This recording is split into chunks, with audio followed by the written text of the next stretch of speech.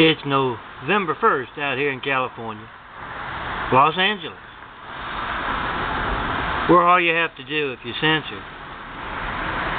is get your videos out there to LA.